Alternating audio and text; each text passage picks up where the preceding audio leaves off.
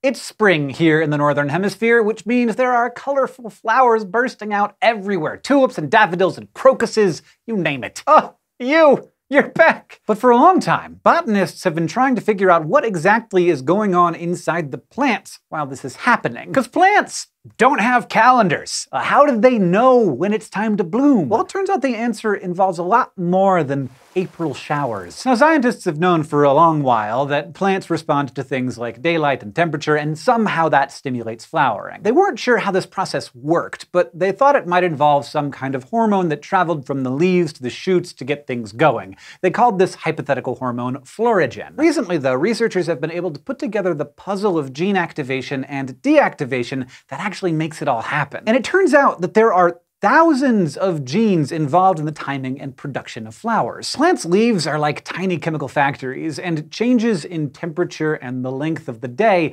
affect which molecules the active genes pump out. One of these molecules is a special type of RNA, the stuff in cells that helps make proteins from genes. This messenger RNA turns out to be the reality behind the mysterious florigen. It travels from the leaves to the plant's meristems, the spots at the tips of the shoots where new growth happens. There, it realizes the message to important master genes with names like Leafy and Apetala1, spring is here. These genes tell the meristem to stop producing leaves and start making flowers instead, getting the plant ready to reproduce. Despite these advances, though, a new factor is messing up plants' sense of time, climate change. As temperatures warm up earlier in the year, plants in some areas are flowering sooner and sooner. This can throw plants out of sync with the pollinators they need to reproduce and with the animals that depend on them for food. So the next time you stop to smell the roses, remember there is more to a flower than just beauty. It's the product of literally thousands of genes switching on and off and passing messages from one part of the plant to the other, all working together